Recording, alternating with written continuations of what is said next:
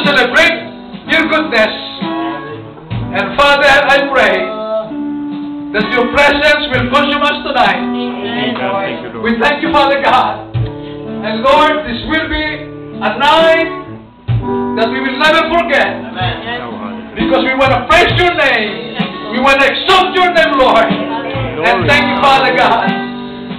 Lord, even your word that will be declared and be released will be exalted, Lord. I just pray that you will bless your servant.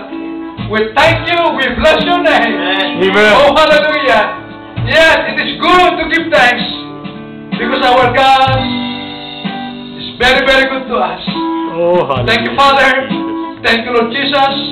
Thank you, Holy Ghost. We ask you right now to bless our praise and worship.